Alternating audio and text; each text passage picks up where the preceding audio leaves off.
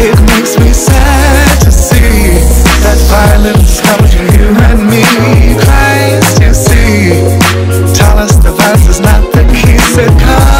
And see what happens to those who can conceive of a perfect world where people can live peacefully.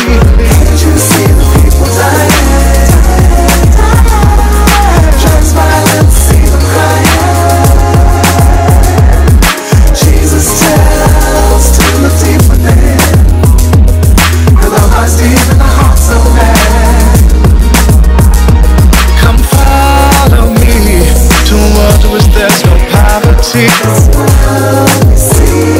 is a gift from God to you and me.